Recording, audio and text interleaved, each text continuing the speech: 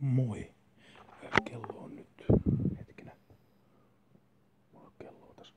Kello on tuo, odotas vähän, ää, odottakas. Kello on aika liki puoli kymmenen. Ja tuo, mä juttelin tosi yhden kaverin kanssa ja tällainen ja, tai yhden tilaajan kanssa. Ja hän kysyi sitten, että koska seuraava video tulee. Ja mä, mä sitten sanoin, että koska se tulee ja sitten mä ajattelin, että mä katson vähän tota mun kanavaani, että mä tarkistan mihin yksi video on mennyt, onko se kansi jossain vai ei. Ja mitä minä näenkään. Mm-hmm. Mä tiedän, mä katson välillä vähän hassusti, koska mun kameran ää, linssi on eri paikassa. Mä en saatu kat- katsoa koko ajan tuota TFT-näyttöä. Mut joo. Eli mitä minä näenkään?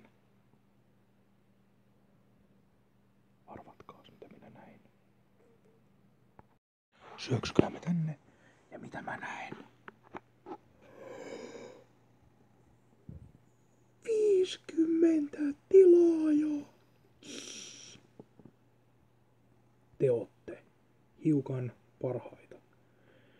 Kiitoksia tosi paljon. Tämä ei ole se spesiaalivideo mitenkään.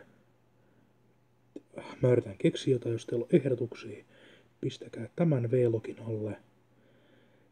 Katsotaan pystyykö toteuttamaan. Mutta tää on niinku, yes, hyvä juttu. Erittäin hyvä juttu. Kiitoksia. Tosiaan, mä oon sekaisin. Tosiaan, jos ehdottakaa jotain, mä voin kyllä tehdä jonkun spesiaalivideon, mutta jos teillä on ehdotuksia, niin antaa paukku. Yes. Hienoa.